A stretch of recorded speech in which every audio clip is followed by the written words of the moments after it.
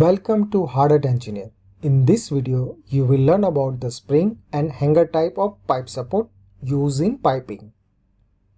I will also explain to you about the constant load and variable load types. So watch the video till the end. Please like and share this video and don't forget to subscribe. You can subscribe right now by just clicking subscribe button on the right hand side of your screen. This way you will get the notification of new video. Let's start with the video. What is spring support? A pipeline with a thermal expansion or vibration in the piping system can disturb the pipe's resting and may move up or down.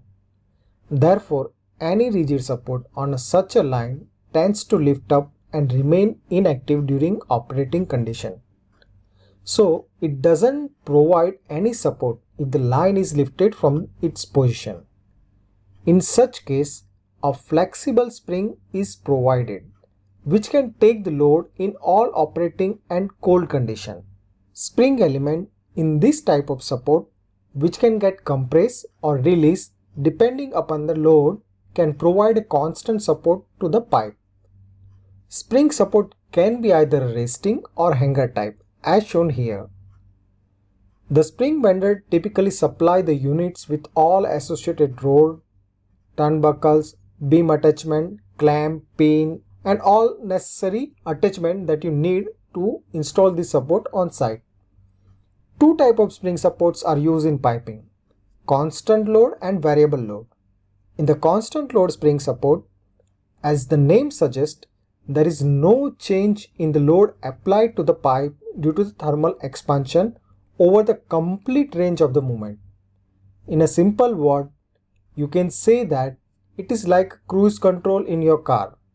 Your car will maintain the same speed irrespective of road condition.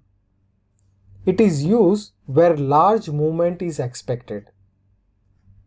In a variable spring load supports, a load applied by supports on the pipe changes as the spring moves through its range depending on the spring constant. Here you can say that variable load is like a driving manually. You continually adjust your speed depending on road condition. This type of support is used where large movement is not expected. Now let's see what pipe hanger support is. It is a type of spring support that is suspended from the structure or concrete beam. It can be rigid, variable or constant spring support. Rigid means fixed metal rod variable and constant, you know about it. U-bolt or a pipe clamp connects supports with the pipe. The supports heights can be adjusted with the help of turnbuckle or by adjusting the spring. This is the end of the video. Please visit my website hardhatengineer.com to learn more about pipe support and don't forget to subscribe. See you soon with next video. Goodbye. Take care.